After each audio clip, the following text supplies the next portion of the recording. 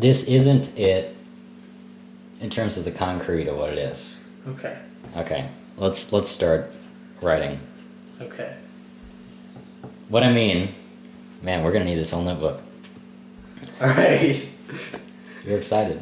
I'm excited. You're Yeah. intrigued. I wish you were a girl, All right.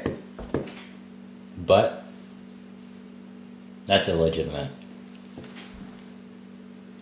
because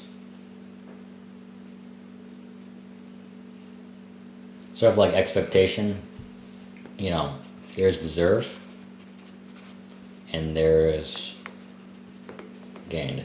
Now, justice says you gain everything.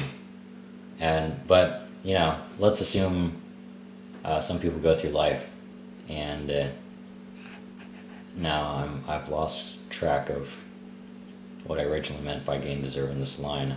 But I knew according to whatever I was saying before, is this line goes here, and uh, that person, that person would never gain what they deserve to be paid. All right. I'm I'm talking about love right now. I understand, I Okay, understand. okay, just two.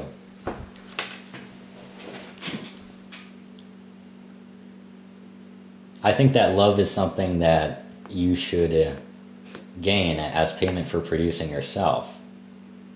And that can only be gained if somebody else has produced themselves, you know. Yeah. But it's possible to go through life never being paid that, though you never deserved it. Yeah. It was something that you came into life only having to gain. It's there is no obligation for you to get it. Yeah. There is no moral wrongness that happens if you don't get it. Because it was it was Yeah. That's the problem with it. What? this is really good. This is a good conversation. Why didn't we do this before? Why do you um, have friends? I don't know. Why don't you just do this all the time? I don't know.